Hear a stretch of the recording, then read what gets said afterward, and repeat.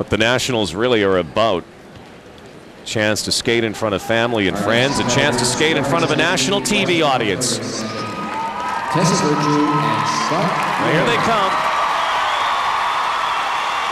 Tessa Virtue, Scott Moir. The kids, 15 and 17, junior champions last year. Just off the Junior Grand Prix circuit. They finished second at the Junior Grand Prix final. They have made some waves even at a tender age. And like I said, they've been skating since they were tykes together. And they are chomping at the bit to uh, to go here. They can feel the excitement in the crowd. They have to be very careful that they don't push out too hard, too fast. They've got to just kind of keep it at the right level.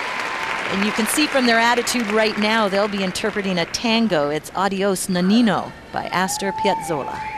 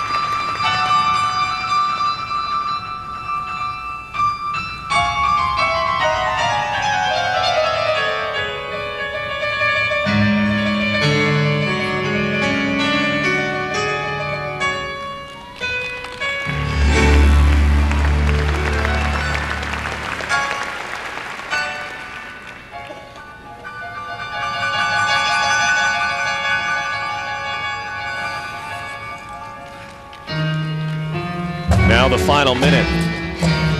That extra minute that you mentioned, they had to add moving from junior to senior. Let's see how they handle it. So far, so good.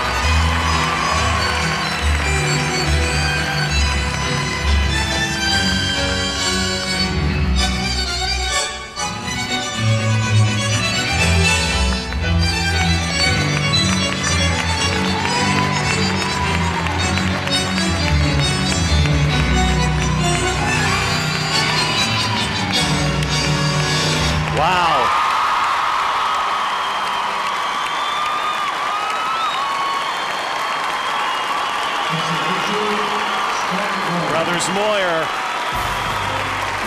Virtue and Moir. They won't win it this year, but they will someday, soon.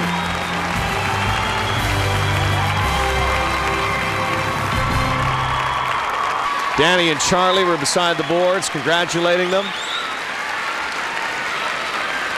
Boy, nothing like skating on home ice and not being intimidated by the environment. Well, they just used it to their advantage, and I've got a feeling this team is going to get a similar reaction even when they're not on home ice. Their qualities are many and quite stunning. The way they stayed in the character of this dance, 15 and 17, but they interpreted this tango beautifully. Look at this twizzle section. The first twizzle with their arms above their head, and you know that is the area that will trip up even the most seasoned veterans, the twizzles, um, but not a misstep or a miscue there. Watch the expression. Absolutely exceptional. You know, they're both very musical and they don't just skate to the music. They feel it, they express it. So, you know, it doesn't feel like it's put on, it feels heartfelt. And that's what brings the audience right onto the ice with them. They, they turn the ice into a dance floor. Now, their coach and choreographer, Marina Zueva, there in the hat, she used to choreograph for Gordieva and Grinkov, the famous Russian pair team. I have never seen her so excited. She was jumping up and down when they finished skating. She knows how good this team is. Their other coach, Igor Shpilband, he trains them in Detroit. Look at that mark. That is huge.